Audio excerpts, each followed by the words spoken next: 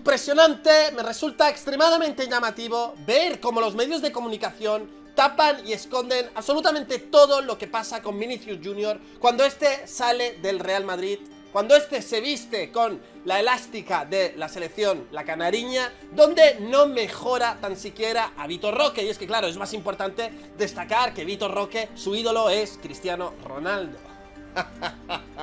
y es que hablan de racismo, una vez más hablando de racismo Y la sanción al Madrid por los gritos racistas en el Bernabéu, ¿para cuándo? Y claro, usan todo a su antojo y según les interesa Pero Brasil está harta de Vinicius Jr. 37 partidos anoche contra Uruguay Otra actuación para el olvido Pitos, abucheos Y es que vais a ver ahora las acciones más destacadas de Vinicius Que vuelve a dejar un partido para el olvido y es que ya van unos cuantos y la realidad, la cruda realidad que esconden aquí, mientras que en Brasil se les agota la paciencia. No olvides dejar un buen like, comenta, comparte, suscríbete, ayudas un montón y así seremos cada vez más amantes y fans de buen fútbol en este espectacular.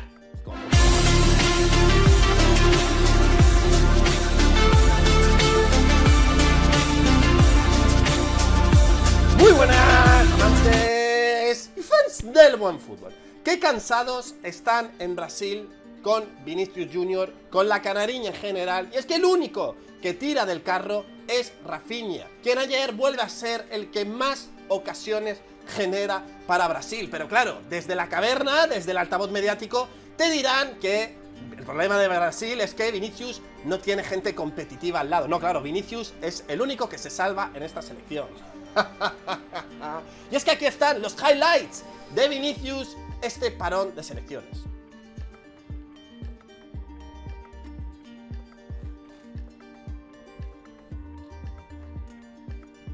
Impresionante, ¿verdad?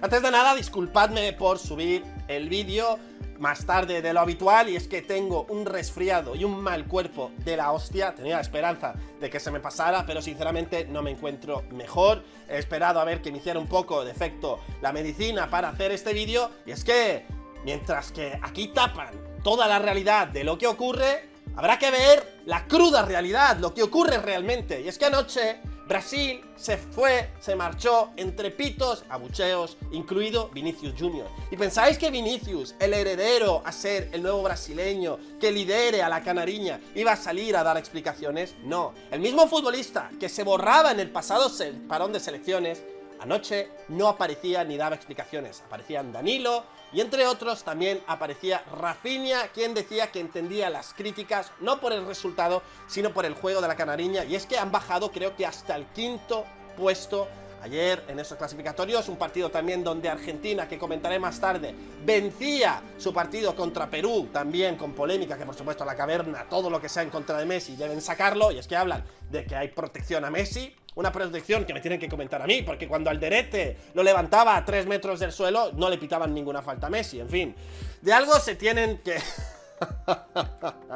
y es que Vinicius van 37 partidos 37 partidos, donde suma la friolera de 5 goles, 5 asistencias. Pero es que en estos clasificatorios, clasificatorios para el Mundial 2026, donde a Brasil le está costando la misma vida, lleva una asistencia.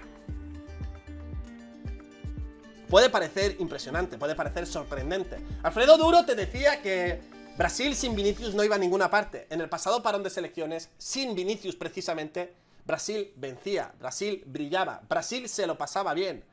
Pero misteriosamente, con Vinicius y sin Rodrigo, porque también evidentemente es una baja importante, le va todo mal a Brasil. Y Rafinha, por supuesto, no puede tirar del carro, aunque él lo esté intentando, con ese 10, y es el único futbolista potable que se puede salvar. Pero para colmo, para colmo, porque esto sí que no lo vi venir, Vinicius, quien continúa en su campaña contra el racismo, contra España, dice que todavía sigue sufriendo, todavía no lo he visto clamar justicia contra el Madrid, que todavía no ha sancionado a los del Bernabéu, contra la Mal, pues te dice, y sale con su placa, muy orgulloso él, que tiene orígenes de Camerún. O sea, Yo sinceramente eso sí que no lo vi venir, que le den una placa conmemorativa por sus raíces de Camerún, y mucho menos aún este artículo que es el culmen de la prensa de España, donde sugieren que a lo mejor Vinicius Jr. y Kylian Mbappé compartan antepasados. Pero qué clase de periodismo es este, de verdad.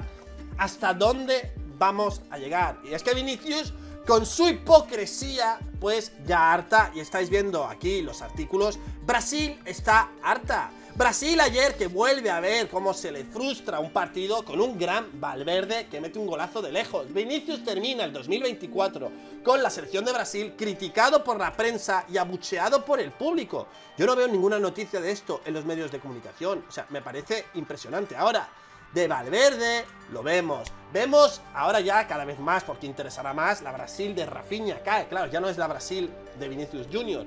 Y también, por supuesto, que hablarán de racismo. Qué bien, qué bien les ha venido que se hable de racismo ahora. Pero la realidad es que Vinicius en todo el año 2024 ha anotado dos goles. Si no es así, corregidme por favor en caja de comentarios. Y los dos goles en el mismo partido, en aquella Copa América, donde también pasó sin pena ni gloria. De verdad, Vinicius Jr. lo sacas del Real Madrid y no hace absolutamente nada. Un Vinicius Jr. que ya confirma ese documental en Netflix que tenía pensado cerrar con el broche de oro, su balón de oro, pero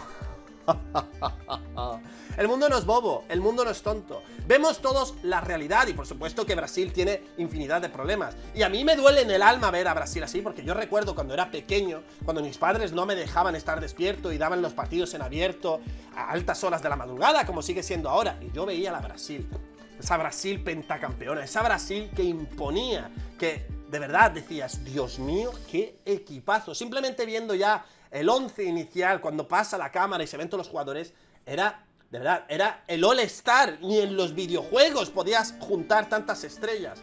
Y era un equipo espectacular. Era un equipo que merecía la pena jugarte un castigo, porque te pillaban despierto, por tal de verlos jugar. A lo que hemos llegado ahora, que es una Brasil lamentable. Una Brasil, sinceramente, no hay por dónde cogerla. Y por mucho que Dorival Jr. esté diciendo que van por el buen camino, que hay mejoría, a mí me vais a disculpar, es la peor Brasil que recuerdo ver en muchísimo tiempo. Y aquella bromita de Ronaldinho, que ya no merecía la, pena verlos, que eso ya no era el yoga bonito, que después resultó ser una campaña, yo creo que no le hicieron ningún favor, porque la realidad es que a la hora de magnificar esos comentarios, esas críticas en las redes que decían que era para enseñar que había que apoyar y no criticar, es la cruda realidad. Esta Brasil no juega absolutamente a nada. Pero es que Vinicius Jr., ese futbolista que te llaman a, indicar que es el mejor futbolista del planeta, Evidentemente puedo comprender que si estás rodeado de mantas, pues no puede tirar del carro solo, porque entonces, en ese caso, el argumento que yo doy con Rafinha, que es el que intenta tirar del carro, tampoco valdría. Pero es que Vinicius no aporta absolutamente nada. Los números no engañan. 5 goles, 5 asistencias en 37 partidos oficiales. Una asistencia en lo que va de clasificatorios al Mundial 2026. Dos goles en todo el año 2024. La realidad es la que es. Lo sacas del Real Madrid, lo sacas del paraguas de Florentino Pérez y no hace absolutamente nada. Porque incluso en esa Copa América protestó y dijo que recibía muchas patadas y no sé qué, no sé cuánto. Pero después el que se acabó autoexpulsando para aquella eliminatoria fue Vinicius Jr. Y en Brasil están hartos. Abuchean, pitan, le han quitado ya esa potestad de lanzador de penaltis, porque contra Venezuela volvía a armar el show. Contra Venezuela tenía la oportunidad de marcar un penalti y lo erraba para después perderse en mil broncas. Evidentemente, esto no interesa en el Real Madrid. Igualmente, tampoco interesa hablar de que Francia sin Kylian Mbappé ha brillado y remontaba a Italia en aquel grupo de la Nations League. Es la realidad. Es la realidad. Sus dos grandes estrellas, para empezar, tienen fricción entre ellas. No se entienden, no se llevan. Y sus selecciones no los necesitan. Porque no tienen un peso tan impresionante como lo puede tener, por ejemplo, Cristiano Ronaldo. Esa es la realidad. Esa es la gran realidad. Y seguramente, porque seguramente, me vendrá algún iluminado a decirme que Messi, antaño en Argentina, tampoco hacía nada, que Messi Messi llegó a una final de la Copa del Mundo. Esa es la realidad. Messi llegó a unas cuantas finales de la Copa América antes de que todo le empezara a ir bien.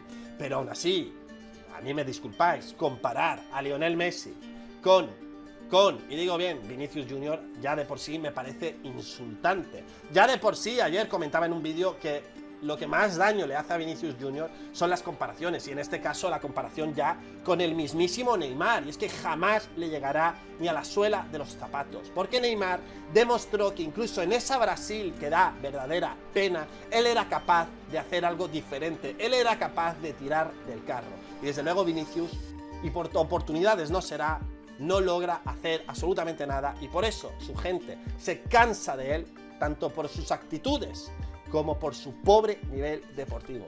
No olvides dejar un buen like, comenta, comparte, suscríbete, ayudas un montón y así seremos cada vez más amantes y fans de buen fútbol en esta espectacular comunidad.